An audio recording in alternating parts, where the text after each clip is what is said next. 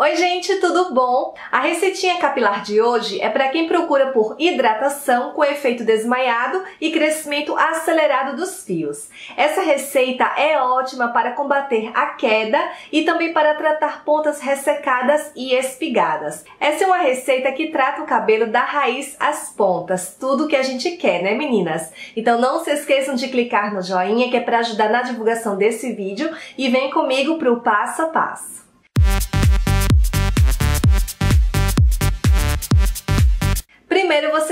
Preparar um chazinho bem concentrado de alecrim.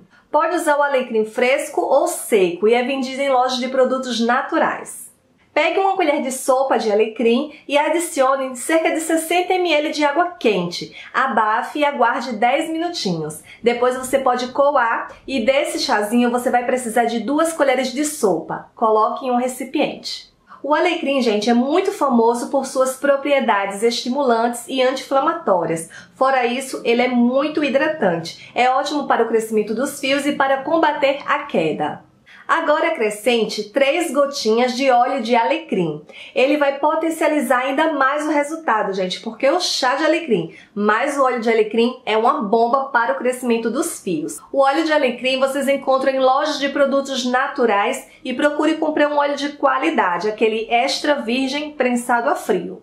Acrescente também 3 gotinhas de óleo de rícino. O óleo de rícino é outro poderoso ingrediente para acelerar o crescimento e combater a queda. É rico em várias vitaminas, minerais e ele é altamente estimulante. E por último, adicione máscara liberada para o couro cabeludo ou aquelas para co-wash, tá? Eu estou usando uma que é liberada para o couro cabeludo, é co-wash também, que é a máscara da Scala maracujá, mas vocês podem usar aí a marca que vocês quiserem. Adicione uma quantidade ideal para o seu volume de cabelo e misture bem todos os ingredientes. Como minha máscara tem uma textura molinha mesmo, então a minha receita também ficou molinha, mas não atrapalhou na hora da aplicação. Lave seu cabelo com seu shampoo por duas vezes, em seguida aplique a receita em toda a extensão dos fios, enluvando cada mecha. Aplique a receita também no couro cabeludo e faça massagem com movimentos circulares. O tempo de ação dessa receita é de 15 a 20 minutos.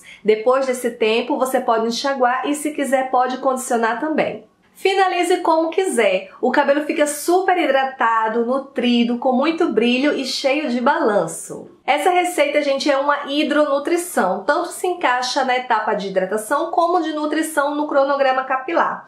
Essa é uma receita que serve para todos os tipos de cabelos, só não indico para grávidas, pois o alecrim, rícino não são indicados para grávidas. Pode repetir até duas vezes por semana e não guardem sobras. Espero que vocês tenham gostado da dica de hoje. Não se esqueçam de clicar no joinha. Fiquem todos com Deus. Até o próximo vídeo. Tchau, gente!